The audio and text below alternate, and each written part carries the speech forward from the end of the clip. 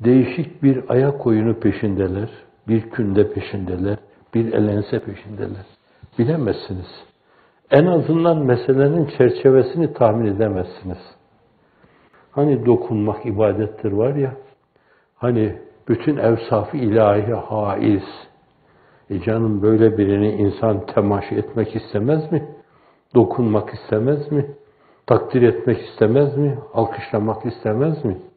Bizim rahmetimiz gazabımızı aşacaktır inşallah. Başında öyle bir lider var ki dünya liderliği kabiliyetinde ve Allahu Teala'nın bütün vasıflarını toplamış bir lider Sayın Recep Tayyip Erdoğan var.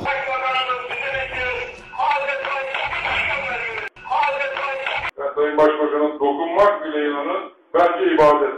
Allah insana günah işleme özgürlüğü vermiştir. Her kim ki Aydın Bey'in o zor gününde onun yanında olur, o Allah'tan her istediğini alır. Bakara 165. Bu Bakara iyi ya tabii yarabbim ya Resulallah çarpacağız. Bakara Bakara Bakara benimki Bakara ya vallahi böyle. İman edenler, imanlarınızı yenileyin. Ve şimdi her yerde o fitne ateşlerini yakıyor, size yakmaya, kül etmeye çağırıyorlar.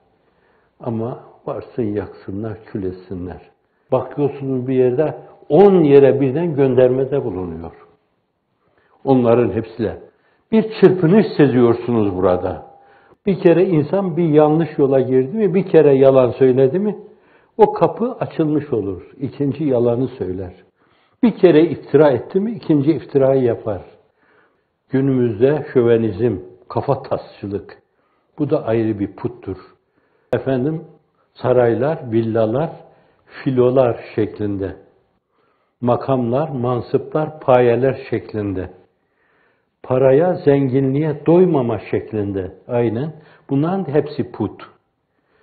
Lata, menata tapmadan farkı yoktur. Bazen de sadık dedikleri çıkar münafık.